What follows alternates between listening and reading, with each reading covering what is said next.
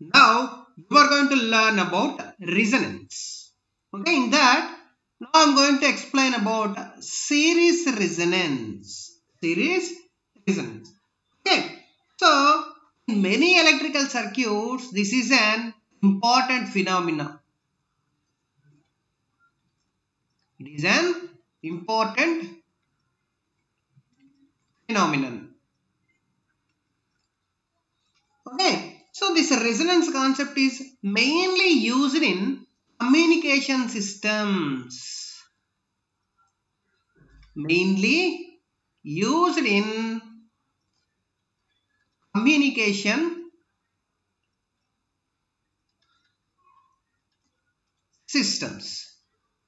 See, a communication system, we have transmitting station and transmitting station and receiving station.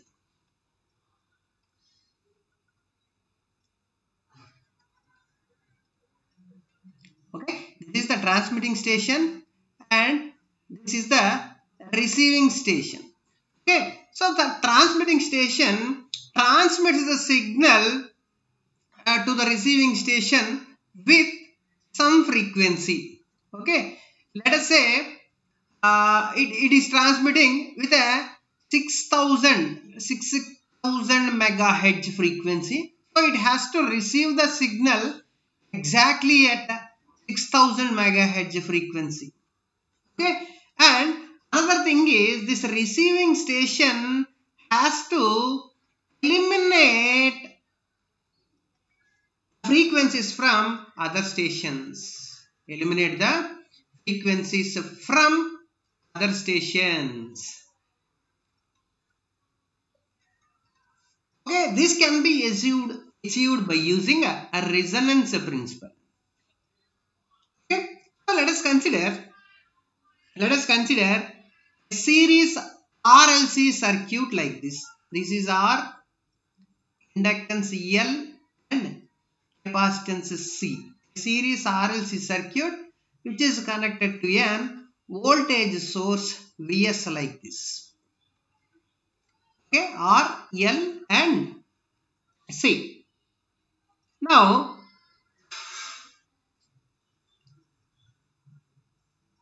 this circuit, current leads or lags leads or lags depends on the values of XL and XC. Am I correct or not? XL in the sense inductive reactance and XC in the sense capacitive reactance. See, whenever XL is greater than XC, whenever XL is greater than XC, then the circuit is an inductive circuit, inductive circuit and in that case the current lags. Current will lags. Whenever XC is greater than XL, then the circuit is capacitive circuit, capacitive circuit. And in case of capacitive circuit, what about current?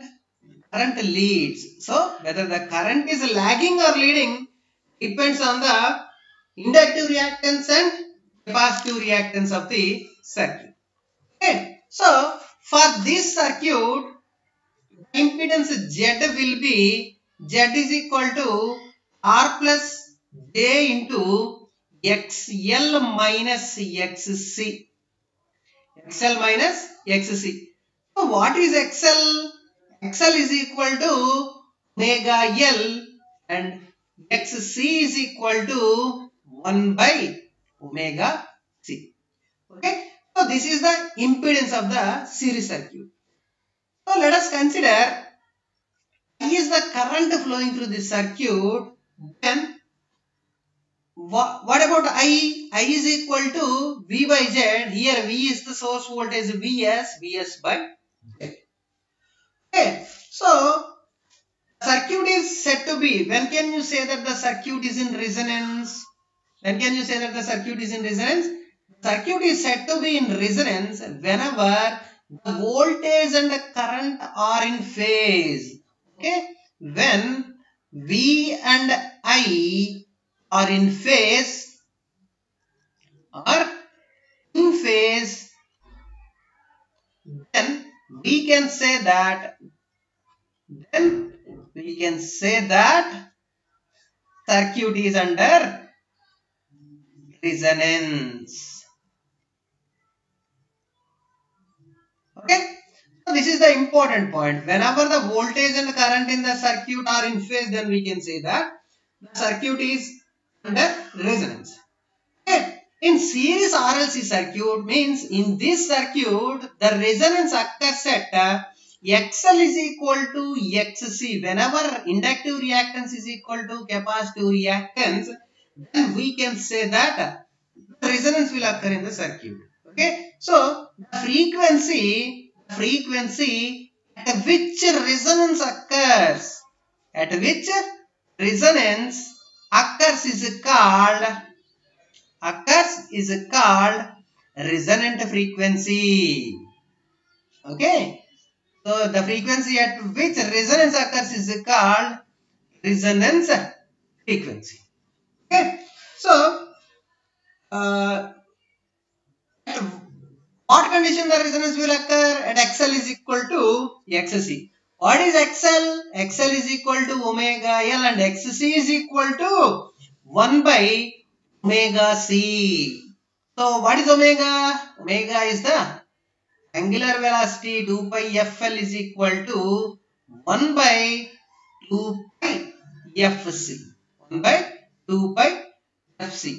Now, F square is equal to 1 by 4 pi square L into C.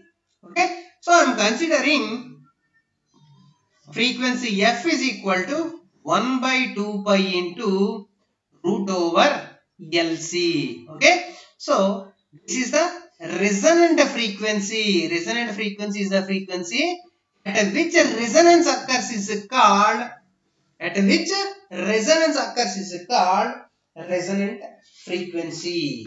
Okay, so this is the formula for RLC series circuit resonant frequency. Okay, so thank you.